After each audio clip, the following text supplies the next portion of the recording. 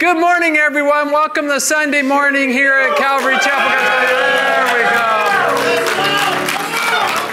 That, that's more like it. Well, let's worship. Let's, let's begin with a word of prayer first, though. So, Lord, we come before you, and God, we're so grateful for this time together. Lord, we're so grateful just for your goodness and your mercy. So, Lord, I pray now that you would just bless this service. Lord, that you would anoint the worship team. And God, I just pray that you would help us to worship you in spirit and in truth. And so, Lord, we give you this time now, and it's in Jesus' mighty name we pray. Amen. Amen. Welcome again. Welcome for tuning in online. So good to have you all here worshiping with us. So, why don't we all stand as we come before our mighty Lord of Lords and King of Kings and worship Him in spirit and in truth this morning. Amen. Amen. That's right.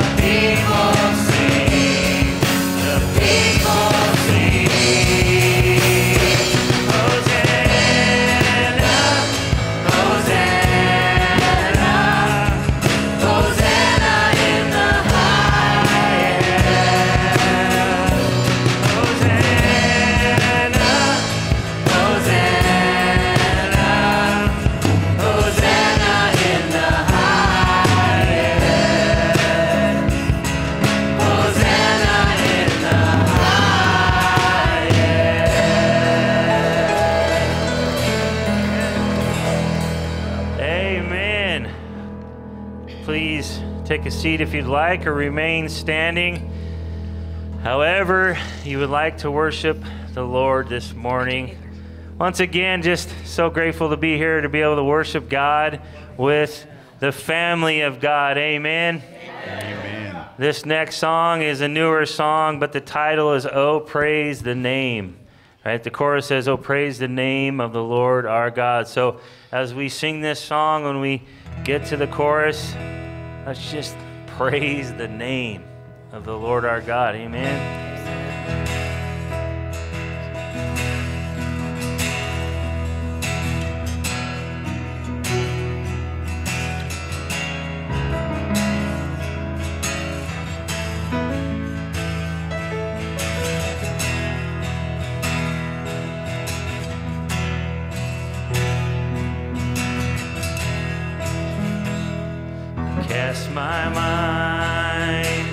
To Calvary,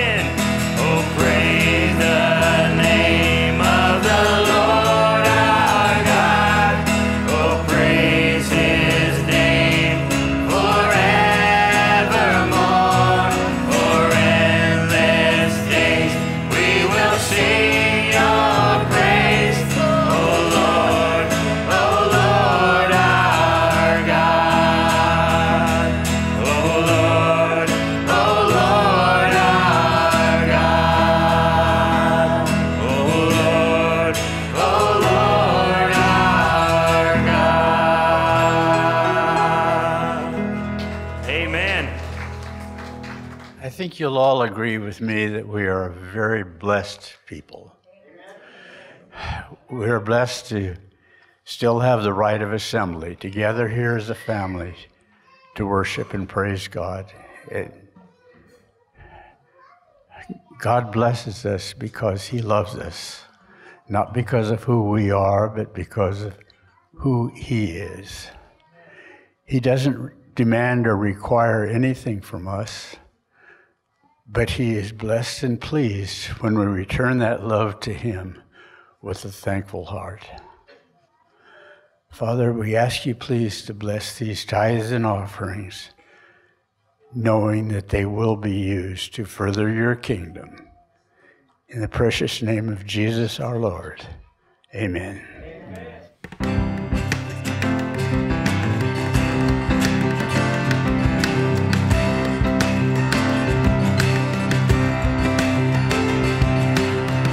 sing and honor, glory.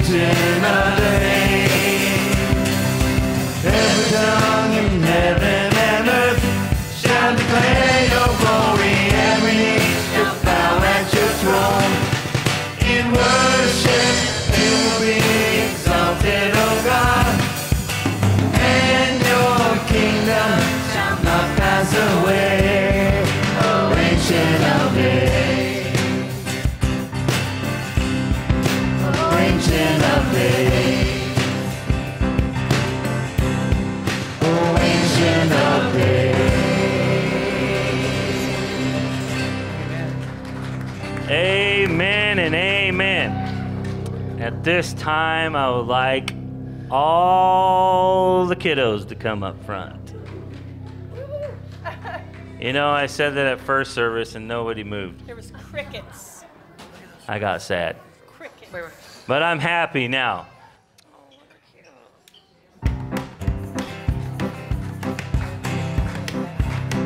This train is bound for glory. This train. This train is bound for glory. This train. This train is bound for glory. Nobody rides but the righteous as a whole. This train is bound for glory. This train. This train is a free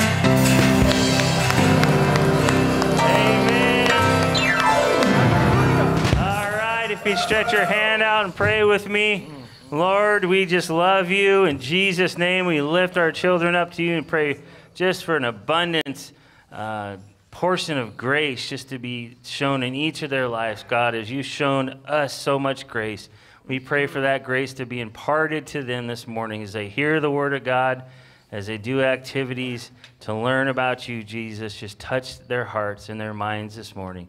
In Jesus' mighty name we pray. Amen. All right, if you could take a moment and greet somebody this morning. Normally, I got to come down there and lead half of you to your seats, but. Okay, just a few announcements, and then we will continue on with worship and a few other things. But first and foremost, do we have any first time visitors here? We do. Back there, we have a, a lovely gift for you to let you know just how welcome you are. All right. And with that being said, just a few reminders before we continue on. One is to keep the homeless outreach ministry in your prayers, please. Um, Bernie and the team, as they go out to those dark places and um, shed the light of the gospel, they definitely need our prayer, uh, first and foremost. But also, um, if you so feel led, they could use large tortilla shells and bottles of water as they, on Monday mornings, what happens is uh, the, the team from U Turn and whoever wants to come shows up here at the church at 8 in the morning. We have a Bible study, and then they prepare burritos, and we pray, and they go out to the uh, park and minister to the homeless. So please keep them in prayer. Uh, it's a vital ministry that we have going on here. A lot of fruit from it, too. And then also, the next installment of the Bible Basics class will be tomorrow at 6 p.m. I believe it's the fifth class that we have running in this. So, um, you know, if you've been to the other ones, make sure you attend. I know uh, it's been well received. And also on the 27th, we have the movie 5,000 Blankets. It's a true it's based on a true story just about, you know, what the love of Jesus and the love for people can do in the lives of, uh, uh, you know, individuals. It definitely has an impact. And this movie's kind of takes a look at that. It's pretty inspirational about one lady who just started loving on the community and it kind of grew from there. So if you'd like more information about the movie, you can see Pastor Aaron. I know he's seen it. Or if you'd like to know more about the matinee, Pastor Frank is around here somewhere, or at least he was. He can give you more information about it. Also, we could use a, some more volunteers to be greeters. So, if any of you have been feeling led to get more involved in the church, uh, you can see me or Pastor Aaron, and we'll get you hooked up as a greeter. Then also, we have a new home group starting with Brian and Monica um, at the Refuge Center. So, it's kind of for younger, middle-aged uh, couples or families or whatever. And Brian said he will be carding you out the door, so if you're old, don't show up. Or at least bring a fake ID and then he might let you in, I don't know. Or see Monica, she's actually nice. Brian, not so much, but no, I'm teasing. Well, sort of teasing, it's pretty true, but we'll go with that. All right, and with that being said, before we get on we, with the uh, next worship song, we are blessed to have uh, State Representative Lily Morgan here with us today. And uh, she's going to come up and speak and give us some updates on what's going on in, in the Salem. And also um, just to be able to, you know, uh, help us to know how to pray and how to get activated behind some of the stuff that's going on. You know, she's a wonderful uh, woman of God that Linda and I have known for a long time, and we definitely need to support her and uh, be in prayer for her as she.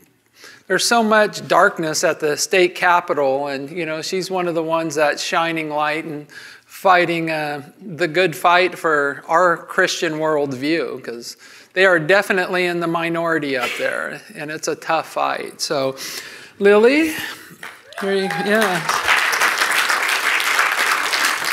Oh, and I just saw one more note. So the potluck on Wednesday is going, the theme will be Italian food. So there you go. So bring Italian dishes, or we're just going to start doing this according to my diet after this week. So I will let you know what I can eat, what I can't eat, and you can bring that stuff. But no, Lily, there you go.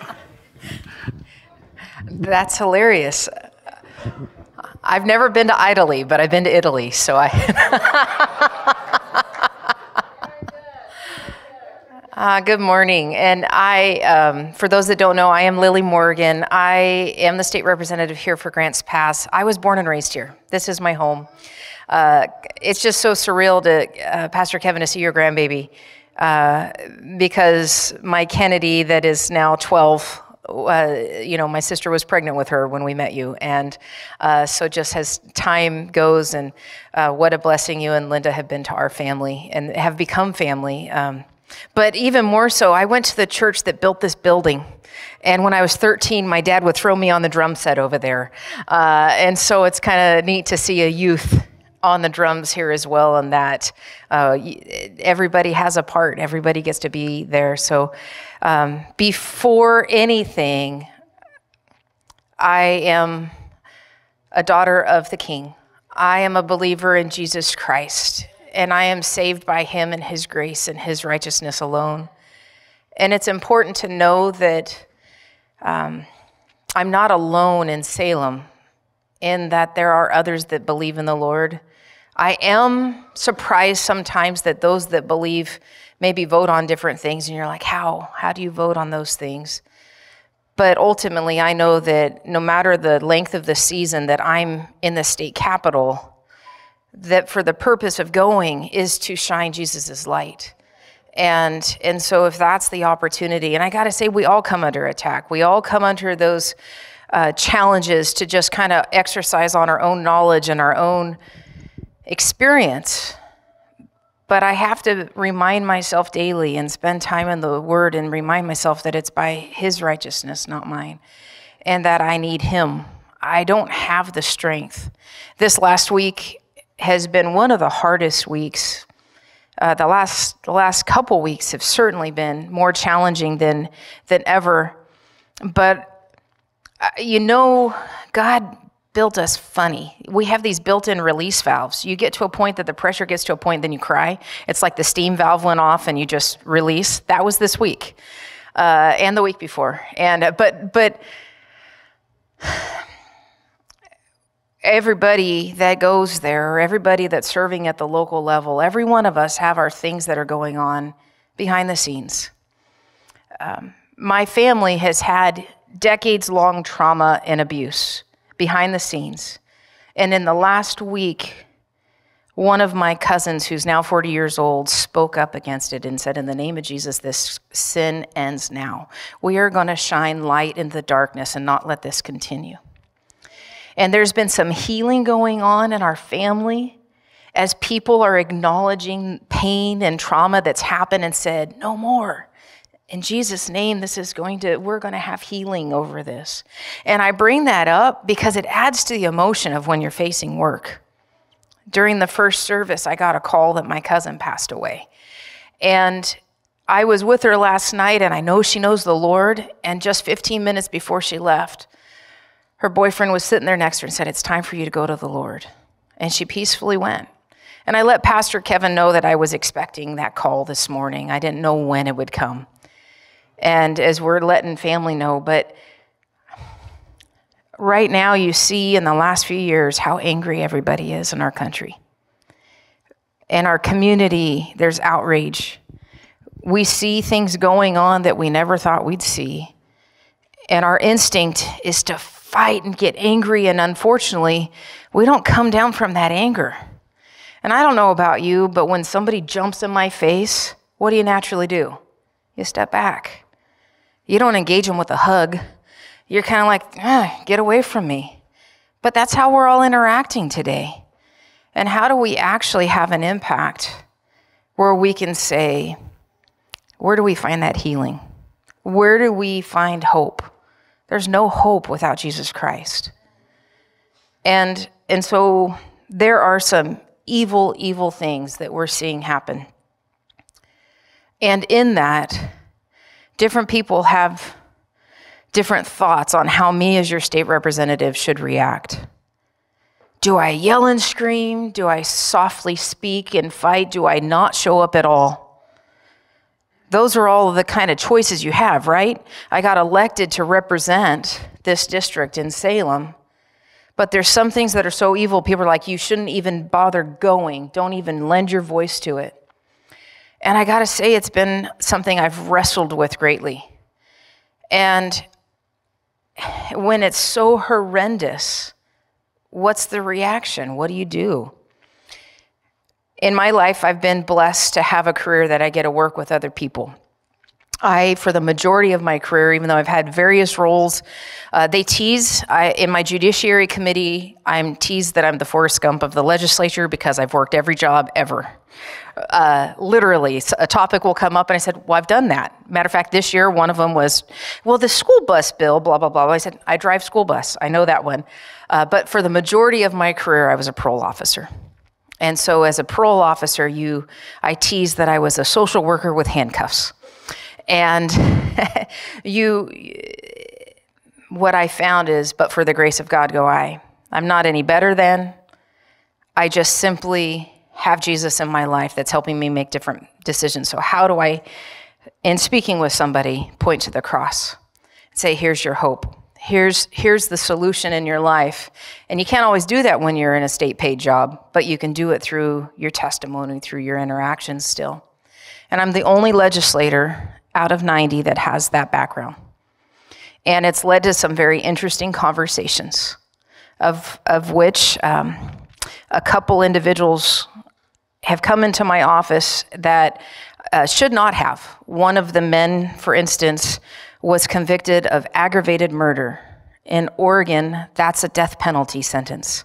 Part of his plea deal was that the death penalty was taken off the table, but he was given a conviction of life without the possibility of parole. He was never supposed to get out of prison. And his sentence was commuted a year ago, and he's been out. And I didn't know what his crime was, but I've been able to interact with him. As a parole officer, I've supervised people convicted of murder before.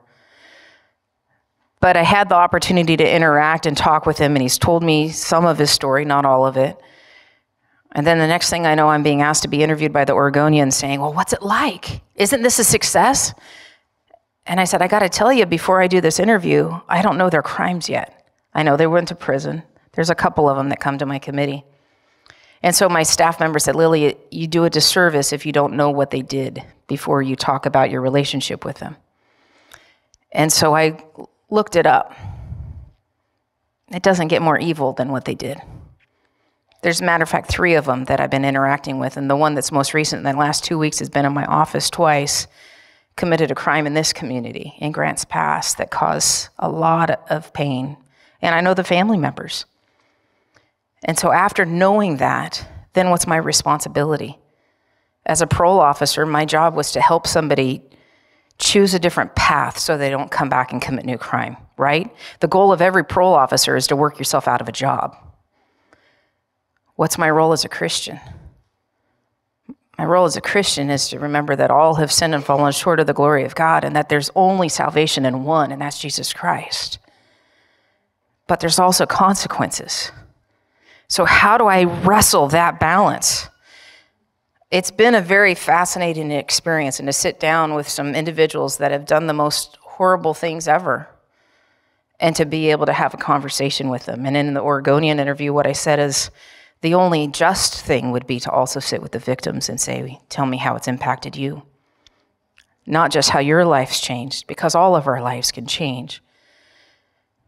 If I hadn't been elected, I wouldn't have had this opportunity. It's, it's amazing. But then there's also other things that come about because of my past. I serve on the Behavioral Health and Healthcare Committee. So dealing with the out, the outcomes of how Oregon decriminalized, or first we made any drug crime a misdemeanor, and then most recently with ballot measure 110, made it a violation. And so now Oregon is a destination for people to come because they know they can freely use without any outcome. And we see people dying in mass and overdoses. And they're making a game of it in some places. How close to death did you get? Did you see the white light? Did you see the gray light? I've had local treatment professionals reach out to me and say, please stop this insanity. We can't do this. And, and those in power in Portland, and I say it that way because numbers matter. I believe that a life can change, and, and, and the way that they do that, like with U turn, that you turn to Jesus, you are clean and sober. It's not a matter of playing with the substance, you walk away from the substance. Right now, Oregon's focus by those in Portland that are making the decisions are saying, Measure 110, even though it said we're going to give you treatment and recovery, we're going to focus on harm reduction, so we're going to give you clean needles and we're going to give you Narcan. So you can continue to, to use, and here's a way to get out of the overdose, but not that hand out. Right now, Calvary Chapel Grants Pass has a ministry in the parks to the homeless. Some would say that's enabling those to stay living on the streets. But where did Jesus go? He, he didn't just say, Come to me clean. He said, I am the water that gives life, eternal life. And how does somebody know Jesus unless somebody shared that message with them? So, Calvary Chapel, keep listening to the Holy Spirit. I am going to say, not everything that we will say, everyone agrees with. I've yet to meet a married couple that agrees 100% on every topic. But just as our society is in this rage, in this anger over what they're seeing, We've also gotten to a place that we can't actually have conversations when we don't agree. Oh, you, you did that? I will never vote for you again. I'll never talk to you again. You are canceled.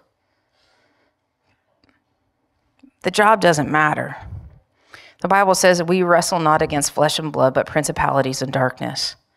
As this stuff is coming up, and one of my staff members that comes to Salem with me, she takes on the expense of renting another apartment in Salem. From she's from Grants Pass to go and be there, so to help me in my office. She used to run the pregnancy care center in Cave Junction, and then we faced some legislation this session that is horrific. House Bill 2002 is one of those. It takes away a parent's right to know if their child's had an abortion. It's removing the age limit for which a child can have an abortion without parental knowledge, to be specific. The earliest documented pregnancy in the United States is nine years old. So now a nine year old who can't decide what they're having for breakfast is being told to make a horrible life decision without seeking their parent in that circumstance. Why are we destroying families? Because God created family. Why are we destroying life? Because God is life. In this circumstance, we'd bring up all these topics and say, why are you allowing children to change, permanently alter their bodies through surgery for what they're calling gender affirming surgeries? And yet you see suicides going up through, out, it's out, eh, you can't even count them anymore. Here, don't not use drugs. You can keep going. So these are all the decisions that go through my committee. I'm on judiciary. I'm on behavioral health, health care. And I, the very night that we voted on this bill, House Bill 2002, in our committee, they also took away the rights of Oregonians to have flavored tobacco. Now in Oregon, it's already been passed that you have to be 21 to buy tobacco, an age restriction, 21 because kids can't have tobacco. So we made it so you have to be 21. But because kids are still getting flavored tobacco and can't be trusted not to start smoking as a youth, we're going to ban all flavored tobacco in all of Oregon for any adult to have because kids can't be trusted. And the very night we voted on that is the same night we said we're going to let nine year olds have abortion without their parents knowing because they can make those health decisions by themselves. And on the floor of the House, we were told we're empowering children. No, we're not. We're destroying families. So I wrestled with the decision of how do I take part in these bills? Do I show up? Do I protest? Do I do what? And ultimately, the House Republicans and the Senate Republicans have been working together towards what we can do to, to fight this evil. And the Senate asked us House members to stay and get some things on the record and to fight it. And so I did. Some locally have said I betrayed us because I allowed the vote to happen but that's where that prayer comes in and having the, the Holy Spirit guide and direct. And, and we did fight the bill. I even shared personal experience of my childhood on the floor that was a very vulnerable spot. And uh, I believe sometimes by allowing that to happen, to have the Lord shine light in those dark places, that others can come to know the Lord through those experiences. Why do we tell our testimony? Because it's by the blood of the Lamb and the word of our testimony that Jesus is who is our Savior. I would just ask as we are facing these horrible things, and we're doing everything we can to change them, but we need you to be covering us in prayer. We need the Lord to give us the wisdom and discernment and what we're seeing and to make the right judgment decisions of when do you build that relationship to keep pointing to the Lord? Or when do you walk away and say, I'm not even going to have the conversation? It's not easy choices. Just like going to the park and ministering to the homeless, it's not easy. Either is their lives that they're doing down there. It's not to stay using, it's to point to Jesus so you have a way out. But whether it's my job in Salem or your job in the park or anything else you're doing on a daily basis, we're all facing these decisions. As you're dealing with a coworker, as you're dealing with your family, We're all facing that. And what do we need? We need us as a family to come alongside and point to the cross and say, Jesus is your hope and your strength. We can't do it without prayer. I can tell you the day that the House Bill 2002 went to the floor in the House, a group came and they were in the upper gallery and they just prayed all day. And I know it made a difference. You could sense the difference of the peace that you could have to fight. The Senate asked us to get past 6 p.m. We started at 9 in the morning to argue on one bill. We went to 7:30 p.m. We went, you know, we like to talk. No. We had to get things on the record and we had to keep it from being pushed through to get voted on in the Senate. And now it's stalled because the Senate has walked and they're holding it. But we got things on the record. We filed a lawsuit already. We're fighting because we know that we can't give up on Oregon, we can't give up on our communities, and more importantly, we can't give up on our children and our families. So, so I would encourage you to continue to lift us up in prayer. Feel free to email and say, I got you covered. Whether you know it or not, whether you believe or not, I'm praying for you. State representative, state senator county commissioner, city councilor, school board member. Every one of us need God's wisdom and, and, and His guidance. And on top of that, I would just encourage that if you hear things in the community, counter it. In Jesus' name, let's seek Him in this. Let's stop fighting amongst each other and pointing to what is the real source of light and darkness Jesus Christ is who we need to be seeking. And so, in the anger and everything else that comes up, are we covering that in prayer? Are we surrounding the circumstance as a family and pointing to Jesus? Thank you for having me here this morning. I appreciate that this is family and that we can gather in prayer. We can gather freely and do that still. I've been in the Soviet Union when it was under communism. I've been in places where you can't gather freely. I am grateful that we can. And guess what? We're not always going to agree. There's going to be times we battle, families do that. But by God's grace, we keep going. So thank you, Pastor Kevin, and thank you all.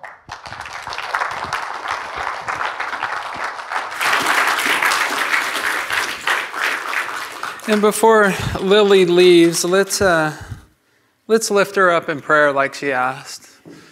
So, Lord, we come before you, and once again, we're so grateful that you've placed people like Lily in the, in the, up in Salem, Lord. God, I pray that her light would shine in the darkness there, Lord. God, that you would just use her in a mighty way. Lord, as she mentioned in first service, Lord, let her have that Esther moment that she's there for a, a time like this, Lord. And so, God, I just pray that you would be with her. You would continue to bless and protect her, Lord, that you would guide her and give her favor. Lord, we do pray against all of these bills that she talked about, the 2002, and, and just all of the evil that surrounded it, and, and uh, you know, just all of it, Lord. We just give it all to you, God. We ask for your guidance and your wisdom and Lord, that you would have your way. So, Lord, once again, we thank you for Lily uh, taking from her busy schedule and coming to just give us an update of what's going on there, up there and how we can support and pray for her. So, Lord, just be with her now. And it's in Jesus' mighty name we pray. Amen. All right, thank you.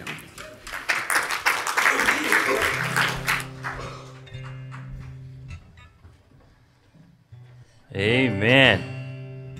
Well, I shared with first service, so I don't think it's fair if I don't share with the second service, right? Um, you could laugh. It's, it's okay. thank, thank you. Oh, see, what a blessing. They got my back. So it's no joke or it's no coincidence, is the word I'm looking for. That um, as she was sharing, even the first service, you know, I heard her speak twice now, and what we need is hope. And this next song talks about all of our hope is in Jesus. Amen.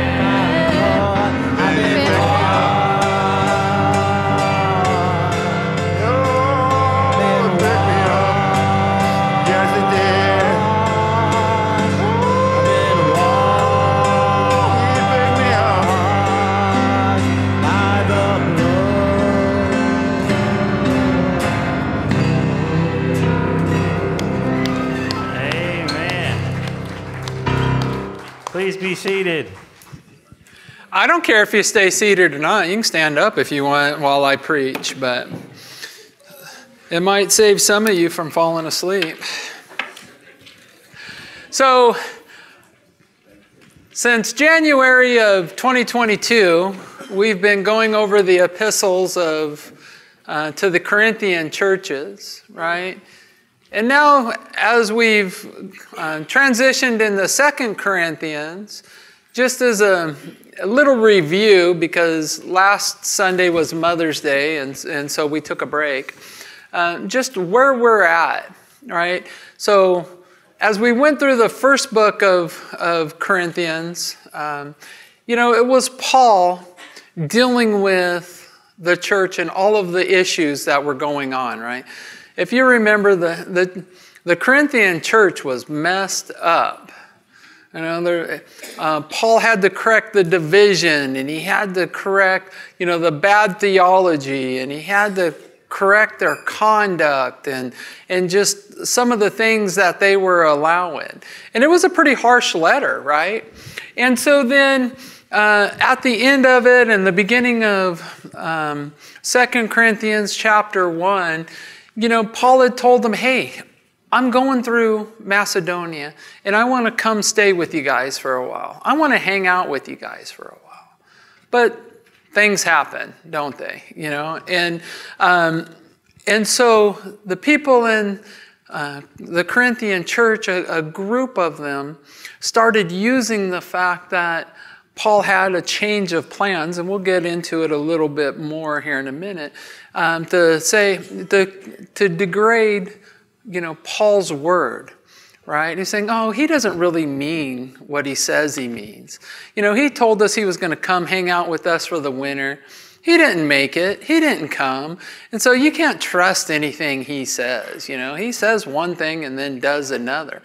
And trying to really, uh, you know, limit his authority or, or what have you, um, because isn't it just kind of the way the world works? It's a lot easier to point out other people's faults or their sins because when you're pointing somebody else's out, you don't the, the light isn't shined on your own, right? You don't have to deal with your own. It's a lot easier to say, look at his sin.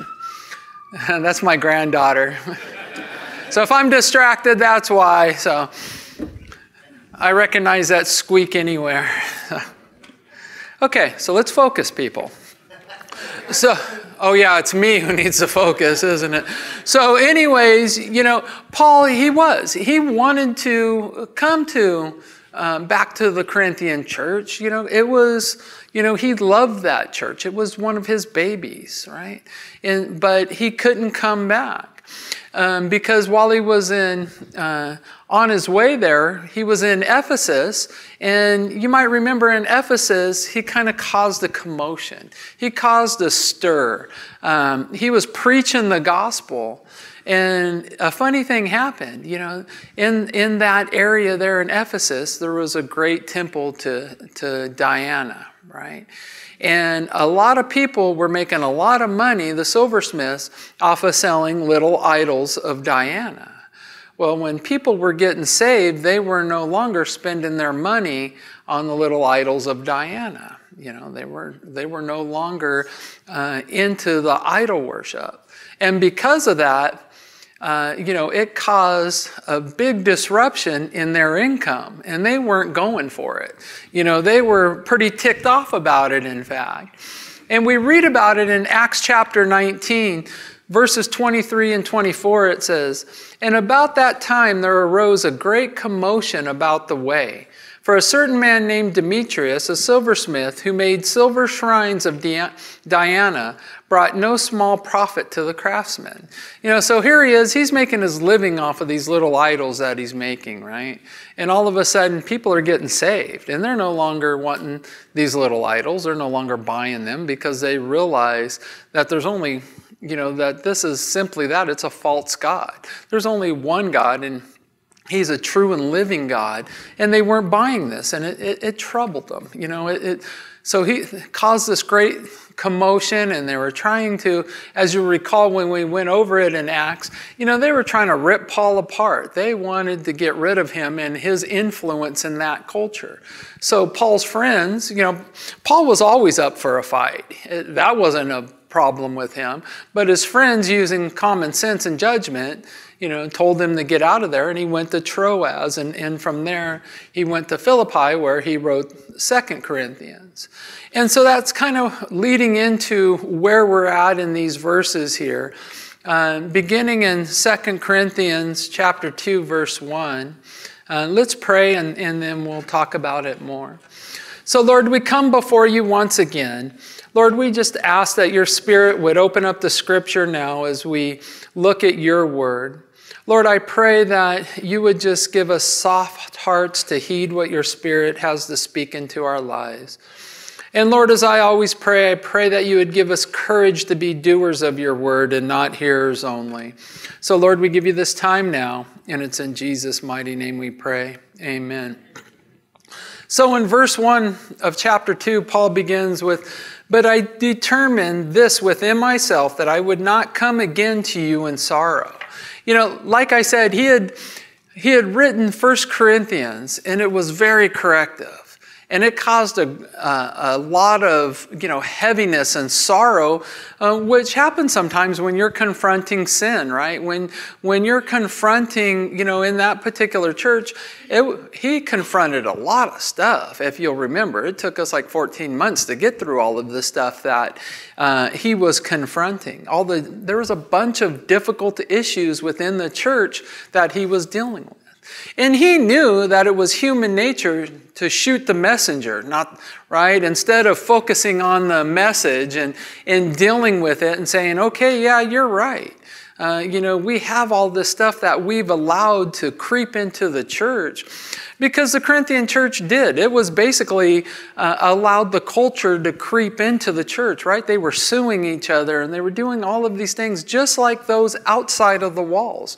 You know, you walk into the Corinthian church, you couldn't tell much difference between those on the inside and those on the outside. And it grieved Paul, and he was dealing with it. You know, he was like, uh, he didn't want to come back there. Um, and bring sorrow and the heaviness, you know, because his influence at that particular time, if he would have showed up, he was like, no, you know, you guys wouldn't have focused on the message or the one who can who can make the corrections. You would have, you'll put your focus on me, and we'll see that through these uh, first four vo- verses that he was saying, I don't want my presence to cause you guys more sorrow. And in verse 2, he continues on and it says, For if I make you sorrowful, then who is he who makes me glad but the one who is made sorrowful by me? You know, he's saying, Hey, I'm looking forward to celebrating with you. I'm looking forward to experiencing that joy there is in the Lord, right? You know, I want to be able to spend that time with you together as a church family. He said, but I'm determined not to come, not to bring that heaviness with you. You know, I want to come at a time where we can all be joyful. You know, because he also knew, kind of as, as Lily uh, alluded to, sometimes we get in the way of the Holy Spirit, right? And that's what Paul was saying. He was saying, hey, if I come right now, the focus is going to be off of what needs to be done, what the Holy Spirit is doing to correct the stuff going on in the church, and the focus is going to be on me. You're going to be, you're going to be, eh, you know, all that angst is going to come against me. And we see that all the time, and we deal with it all of the all of the time as Christians, don't we? You know, I get uh, phone calls and stuff about, for instance, our homeless outreach ministry. Well, why aren't you guys doing more to remove the suffering of these people? But, and my response is always the same why would I want to get in the way of the Holy Spirit? You know, whatever the case may be, yes, uh, we've, I've been doing homeless outreach for years and years and years. And it's always, usually in that particular case, there's one of three re- reasons why they're homeless. One is there's a certain amount of mental illness, two, there's some form of addiction, or three, they're running from the law, right? And so when we see the homeless out there and you see them out in the elements and they're suffering or whatever, I don't necessarily want to make them comfortable in their sin. Because typically it's bad choices that led them to the spot where they're at. So instead of, you know, going in there and making them as comfortable as they can be in their sin, I would rather offer them a way out.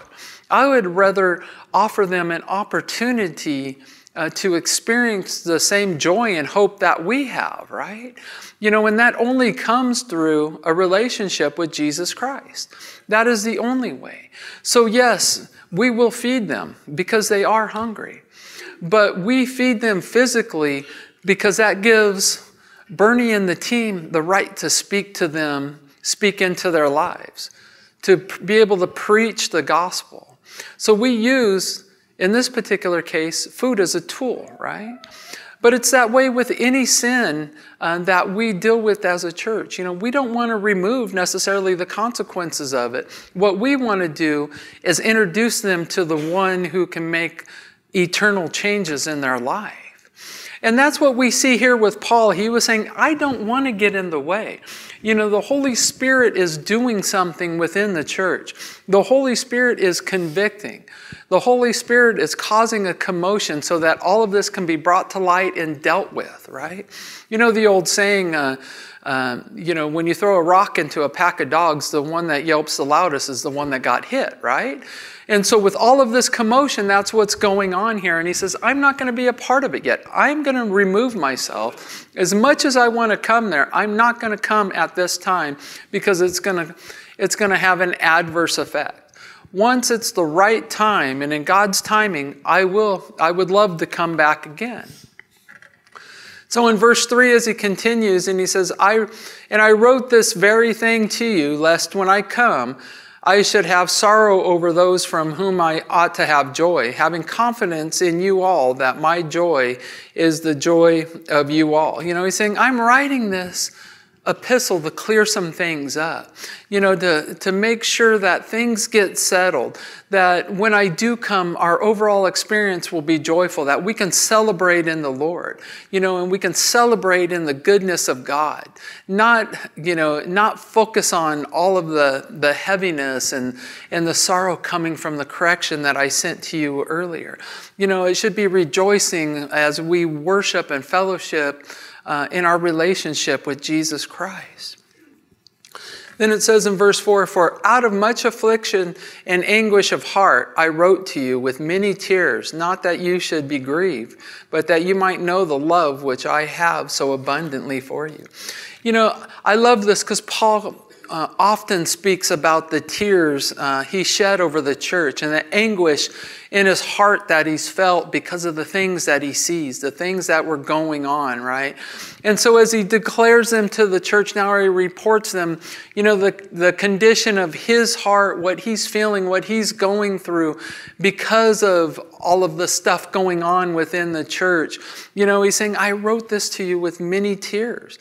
You know, I, I think about the time when, uh, you know, as Paul was ministering to the elders of the, of the church of Ephesus, you know, he reminds them kind of of the same thing that uh, he makes mention of them, uh, you know, uh, of their tears, right? Of, of how he was through his tears. You know, he had a heart for the ministry, didn't he? He had a heart for the church and for, for the people of the church thinking about what he wrote to the Romans in 9 in Romans 9 3 says, For I I could wish that I myself were accursed from Christ for my brethren, my countrymen according to the flesh. You know, I love, you can sense, you can feel his tremendous love for the people there, can't you? I don't know about you, but I'm not there yet. I, I couldn't, I've never once said, man, I'd go to hell if it meant that you know my my fellow the fellow people around here would be saved. I'm not there yet. I don't think I'll ever be there. But that was kind of Paul's heart. He was saying, you know, for I could wish that I myself were accursed from Christ for my brethren. Uh-uh. I'm sorry, I, I, I, love you guys, but I ain't ever going to wish that I'd be accursed Christ. Just saying, just being honest, right? But that was Paul's heart. You know, it's, it, what he's really saying here is that, you know, I would go to all lengths, you know, that you would come to know the same Christ that I know, that you would come to have that relationship with Him, right? You know, it's all about the, the tone, and that's really what He's saying. Um, you know, uh, if you'll remember when we, on Wednesday nights when we were going through Genesis in chapter 3, after Adam and Eve sinned and, and they realized their nakedness, and out of shame they hid from God, right? And in Genesis, chapter 3, verse 9, we read, Then the Lord called to Adam and said to him, Where are you? You know, in this tone, a lot of times it's read or it's preached on kind of like a, uh, an arresting police officer, right? Where are you? What have you done? You know, type of thing. But no, uh, really the tone that God had is, Where are you? The heart of a broken father, right? What have you done? You know, why are you hiding from me? Why do you even have the knowledge to know to hide? You know, how do you even know you're naked? Right? It was out of a heartbroken father. It's not out of a you know, uh, this, and that's the way Paul was too. You know, we read in Isaiah chapter 59, verses 1 and 2. It says, Behold, the Lord's hand is not shortened that it cannot save, nor is ear heavy that it cannot hear. But your iniquities have separated you from your God, and your sins have hidden his face from you. You know, when we sin, that communion that we have with God gets broken, don't we? You know, um, when we sin, our iniquities separate us from God. But you know what? We serve a God, a loving Father uh, that seeks us out, doesn't He? Where are you? what have you done? Come back to me. Right? And that's really the heart we see with Paul. You know, um, that's the heart that uh, he has, just kind of like God had. You know, he had wished that he would be a curse so that his countrymen, his fellow uh, countrymen, would know the Lord. You know, it's that same kind of heart, isn't it? That heartbrokenness, the fact that, you know, it's the battle is real, the struggle is real, isn't it? You know, it's a life or death struggle. We see it in this culture we live in. How many, how often do we hear about people overdosing? How many people have we seen from this church or have gone through U turn that have over, gone back out and, and fell back into their sin? And it cost them their lives. You know, the battle is real, isn't it? Then, as Paul continues in 2 Corinthians in verse 5 through 7, he says, But if anyone has caused grief, he has not grieved me. But all of you, to some extent, not to be too severe, this punishment which was inflicted by the majority is sufficient for such a man. So that on the contrary, you ought to rather to forgive and comfort him, lest perhaps such a one be swallowed up with too much sorrow. If you'll recall in, in his first epistle to the Corinthians church, in, in chapter 5, one of the problems that he addressed is there was someone there who was in a sexual relationship with his father's wife, right? And if you'll recall, not only did the church not speak out against it, they were proud of the fact that they tolerated it. You know, they gloried in their tolerance for allowing this to continue on instead of dealing with it. And Paul corrected it, didn't he? He said, You know, you allowed it. In fact, you kind of gloried in the fact that this was going on. See how tolerant we are? See how great we are, you know? Um, but isn't that kind of what happens in the church in America a lot of times? You know, we'll tolerate, oh, look at how, you know, tolerant we are. You know, we're more worried about being politically correct than we are about being biblically correct. But that's not what Paul told the Corinthian church to do, and that's not what the Holy Spirit is speaking to us, is it? In 1 Corinthians chapter 5, where Paul writes, it's actually reported that there is sexual immorality among you, and such sexual immorality is not even named among the Gentiles, that a man has his father's wife. You know, he's saying even those who don't believe, the non believers, it's not even named among them. They wouldn't even tolerate it, but you guys are tolerating it. What is your problem? Why would you do this, right? And so then he instructs the church how to deal with it in verse 5. He says, Deliver such a one to Satan for the destruction of the flesh, that his spirit might be saved in the day of the Lord Jesus Christ. You know, Paul says, you know, this person who has this unrepentant sin, who has this, uh, you know, is living a lifestyle that goes against God's standards, don't have fellowship with them. You know, if you go to them and, and you talk to them about their sin, and if they're non repentant and won't change, then they need to, you know, church discipline needs to be um, administered and they need to be sent out of the church. Why? It's not to, uh, uh, you know, to take vengeance against them. It's in the hopes that we send them out to the world. And as it says here, that, you know, Satan basically has their way with them and they realize uh, the ultimate goal is that they be saved, that their soul be saved, right? You know, there's a it's always about restoration, isn't it? It's not about judgment because that's not ours to do anyways. That's between God and them. But for us, it's about not tolerating the sin and it's also about the eventual restoration of that person that's living in sin. You know, we want them to realize the weight of their sin and what grief it's causing God, right? And so to go back to these verses here, it says in verse 6 um, not to be too severe, the punishment which was inflicted by the majority is sufficient for such a man. You know, he's saying, glory in the fact that this guy that you guys kicked out in 1 Corinthians is now repenting, right? He's saying, don't hold it against them anymore. Restore them. They've repented, they've changed. You know, what a beautiful testimony it is, right? In 1 Corinthians, they kicked him out of the church. Now, in 2 Corinthians, Paul's reporting saying, hey, this person's repented.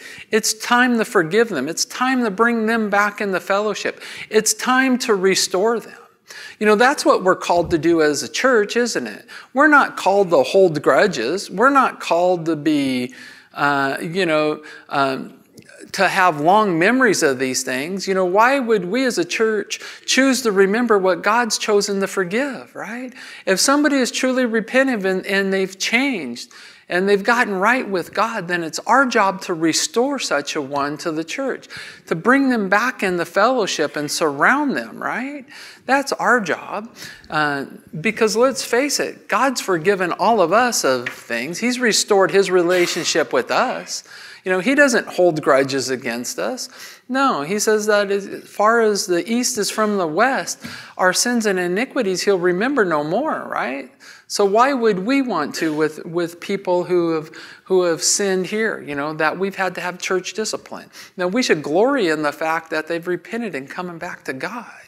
You know, we should gladly receive them. That's what we're supposed to do as a church. Amen. And as Paul continues on, it says, Therefore, I urge you to reaffirm, reaffirm your love to him. You know, like I said, in the body of Christ, there must be a place for forgiveness. You know, as Christians, we must have a place in our heart for forgiveness, right? You know, because we have to forgive because we've been forgiven much, have we not? You know, there has to be a place for restoring someone to fellowship. You know, because that's the ultimate goal of any correction. It's like a parent. You don't punish your kids because it's fun. Well, some you might. I mean, I've seen the way some of you have parented, but you know. But for the most of us, it's to cause a change in behavior, right? And it's the same way with the church, you know. It, it, it yes, sin is tragic. But repentance is beautiful, isn't it? You know, when we see a life change and someone coming back to God, you know, we should be rejoicing in that. So when someone confesses that sin and, and they've given it up, uh, you know, we as a church, we need to make sure that we're restoring them in the fellowship you know, in helping them as they, you know, attempt to rebuild their lives or whatever it is. You know, Paul writing to the church in Galatia, he says, Brethren, if a man is overtaken in any trespasses, you who are spiritual, restore such a one in a spirit of gentleness, considering yourself, lest you also be tempted. You know, we are to restore, aren't we? You know, with, I like this, with the spirit of gentleness uh, you know, that's what we're called to do, right? There has to be that place of restoration within the church, within our, the, our relationships as Christians, you know, within our heart. You know, we have to be able to do that. You know, yes, this guy uh, that Paul's referring to, he was guilty of horrible sins, right? But he repented from them. God forgave him. And Paul's saying, you know what? Confirm your love towards him. Remind him how much he's loved. Remind him how much God loves him. Remind him how much the church loves him and how glad you are that he's repented and turned from his sin. It says, For to this end I also wrote that I might uh, put you to the test whether you are obedient in all things. He said, You know, part of why I wrote this the last letter to you was to see how obedient you're going to be. You know, because there were some severe measures that you were being asked to institute as far as, um, you know, church discipline. And it's not easy, it's difficult. But I wanted to test your obedience to the Lord and what He's commanded you to do. Then, as he continues on in verse 10, it says, Now, whom you forgive anything, I also forgive. For if indeed I have forgiven anything, I have forgiven that one for your sakes in the presence of Christ. You know, Paul speaking with the authority, obviously, of an apostle, right? Because Jesus, when he commissioned the apostles in John 20, 23, he wrote, If you forgive the sins of any, they are forgiven them. If you retain the sins of any, they are retained. You know, like I said, uh, Paul is speaking with the authority of apostle, you know, the way that Jesus had commissioned him as an apostle. You know, the idea of our sins being forgiven. Uh, you know, these verses sometimes are taken out of context, aren't they? You know, for instance, the Catholic Church, you know, that they can, you can go to confessional and that a man, uh, you know, can uh, abolish your sins. No, there's only one way, and that's through Jesus Christ, isn't it? We only have one mediator between man and God, and that's our Lord Jesus Christ. We don't have to go through anybody else, do we? You know, and there's no one else other than our relationship with Jesus that our sins can be forgiven. That is the only way. You know, there's not a church, there's not a person that can absolve our sin. It's already, if we're a child of God, it's already been paid for, anyways. The penalty for our sins have already been taken care of. It's been forgiven. We don't have to.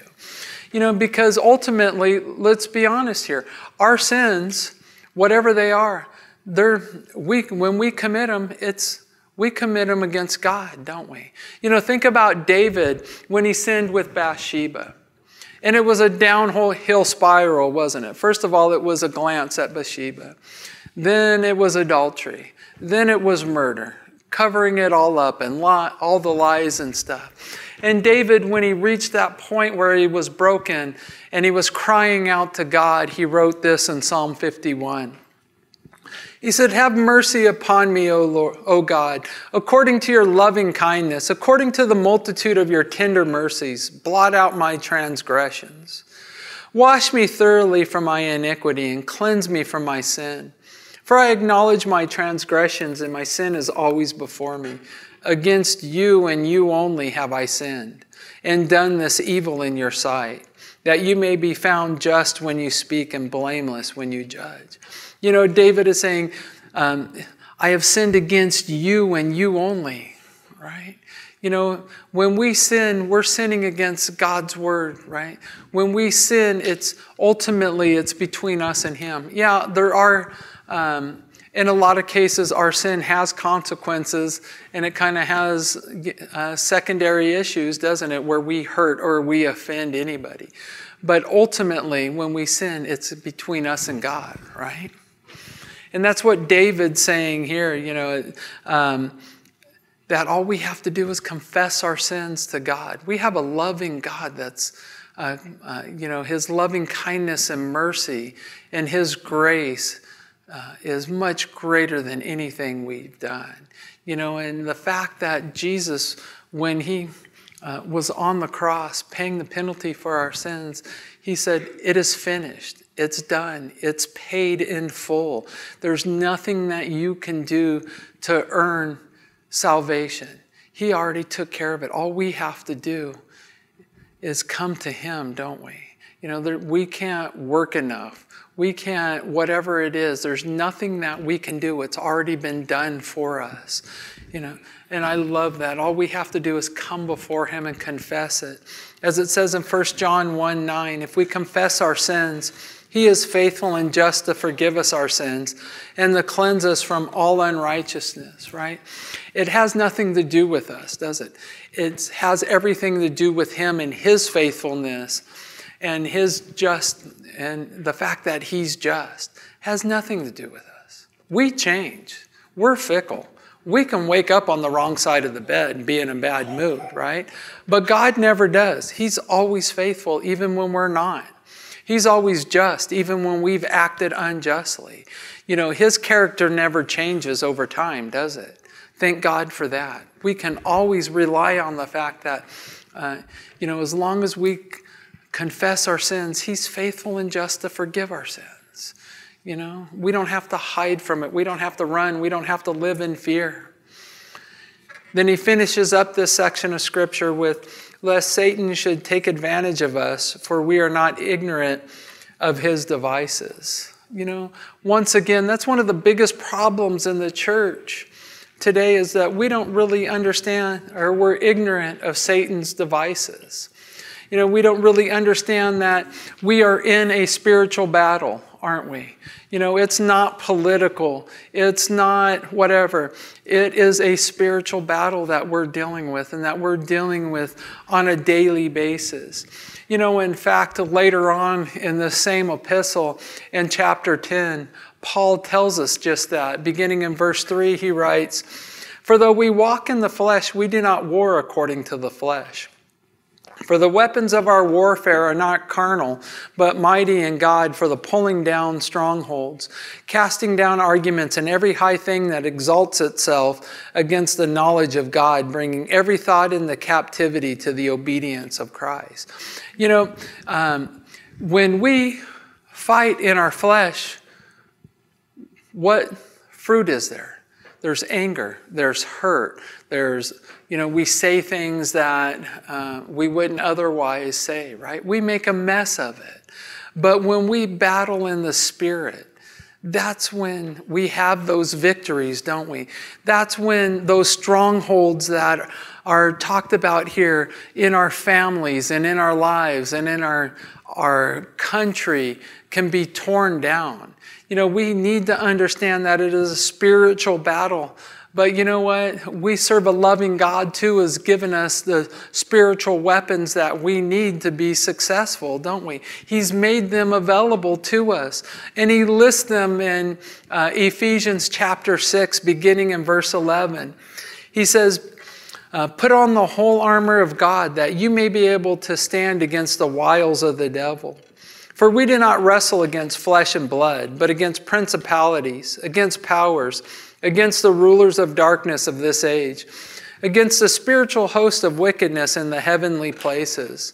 Therefore, take up the whole armor of God, that you may be able to withstand in the evil day, and having done all to stand. Stand therefore, having girded your waist with truth, having put on the breastplate of righteousness, and having shod your feet with the preparation of the gospel of peace. Above all, taking the shield of faith, with which you will be able to quench all the fiery darts of the wicked one, and take the helmet of salvation and the sword of the Spirit, which is the word of God. Praying always with all prayer and supplication in the Spirit, being watchful to this end with all perseverance and supplication for all the saints. You see, the weapons of our warfare are not carnal, are they?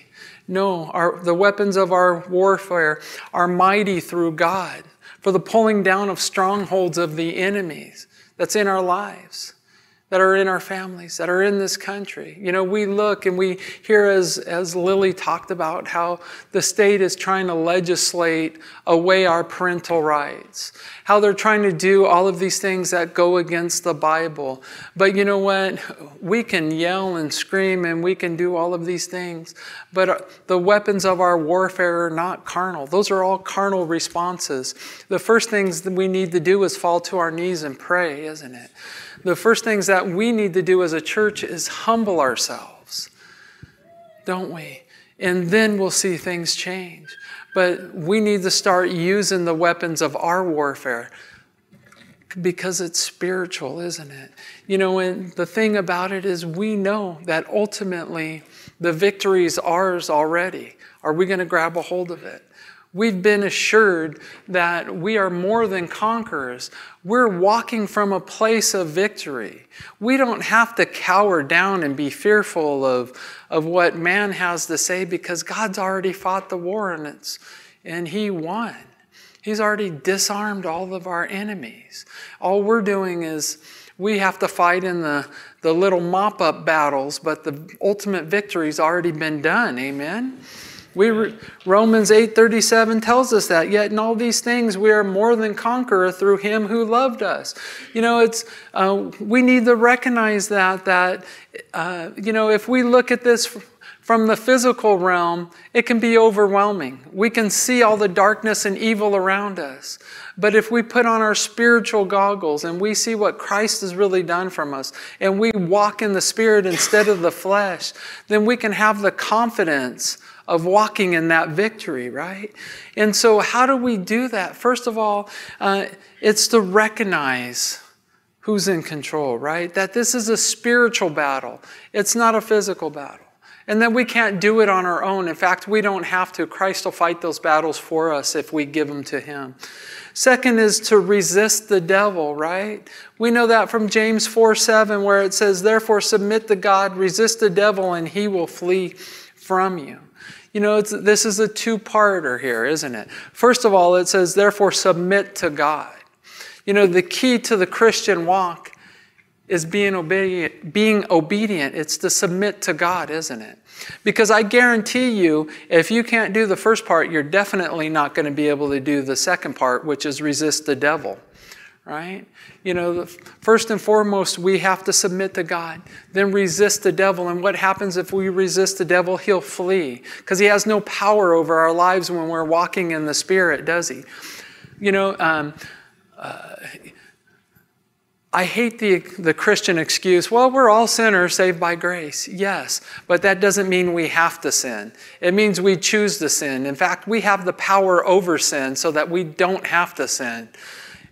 You know, that's just the truth of it. You know, are we going to start walking in the victory? Are we going to start speaking the name of Jesus over all of these strongholds that we've allowed the enemy to, uh, you know, place in our lives? You know, the archangel Michael didn't. When he was fighting over the body of Moses, he spoke the name of Jesus, didn't he? It says, Jude 9 says, Yet Michael, the archangel, in contending with the devil, when he disputed about the body of Moses, dared not bring against him a reviling accusation, but said, The Lord rebuke you. You know, he didn't get in some cosmic fist fight with the devil, did he? No, Michael just said, You know what? The Lord rebuke you. And it was done. It was over. He spoke the name of Jesus over him, and the devil was, um, you know, powerless over him, wasn't he? It's the same for our lives too, right? We are more than conquerors. All we have to do is speak the name of Jesus over it. You know, I love that. And so as we uh, start to close here, um, I want you to remember that. You know, I want you to realize that when we put our eyes on the world, when we put our eyes on our problems, they become big, don't they? You know, there's nothing more that the enemy would like than for us to take our eyes off of Jesus and put them on the problems of the world or the problems in our lives, right? Because whatever's right before our eyes becomes big, right? I use that example all the time. If I'm looking at my problems right here, that's all I can see. But if I'm focusing on Jesus, all of this becomes small potatoes, doesn't it? You know? Because compared to the power of Christ and what he can do in our lives, our problems become small. So we need to focus on Jesus because it doesn't matter what problems you're facing. It doesn't matter what trials you're going through. It doesn't matter because there's only one answer. The answer is always Jesus. That's it. It doesn't matter. I don't care what the problem is. And so, as we finish up here, I want to leave you with this one verse, um, you know, from the first epistle. But thanks be to God who gives us the victory through our Lord Jesus Christ. We have victory through our Lord Jesus Christ. And so, as the worship team makes their way up here for to lead us in a final song, you know, if you've never tapped into that victory that comes with a relationship with Jesus, let today be the day of your salvation. You know, or if if you've uh, started walking in the flesh again and you're being beat up by the world and you need to come back and draw as it says in james you know draw near to god and he'll draw near to you. You want to come back and draw near to him. There's going to be pastors and elders and their wives up here to pray with you. Come do business with god before you leave this place. And if you've never accepted jesus as your lord and savior like i said let today be the day of your salvation. Tap into the power so that you can walk in victory in your life. Amen Let's close in prayer and then they'll do a final song and then you'll be excused. So, Lord, we come before you and God, we're so grateful for your word. We're so grateful that we can, um, that our, the weapons of our warfare are not carnal, but they're spiritual, Lord, that you've equipped us with. Lord, we thank you for your finished work on the cross, knowing that you've paid completely for all of our sins. So, Lord, we just are grateful for who you are and what you're doing in our lives and in this church. And it's in Jesus' mighty name we pray. Amen. Amen.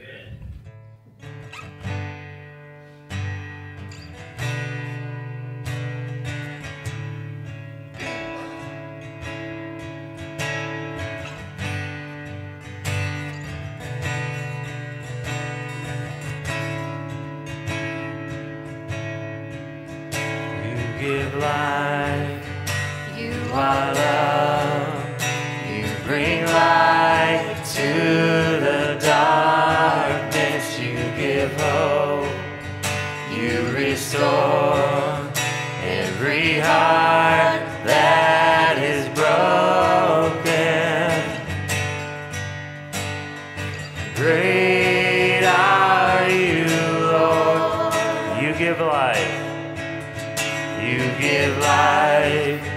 You are love.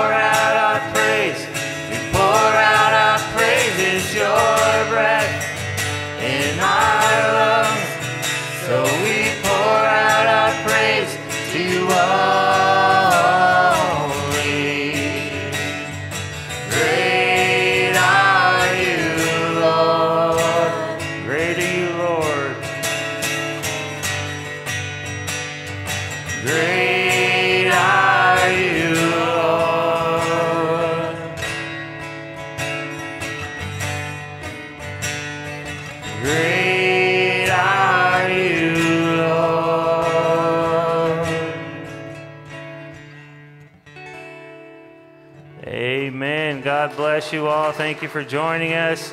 Remember, Wednesday, what's the food theme? Mexican food. All right, we'll see you on Wednesday night.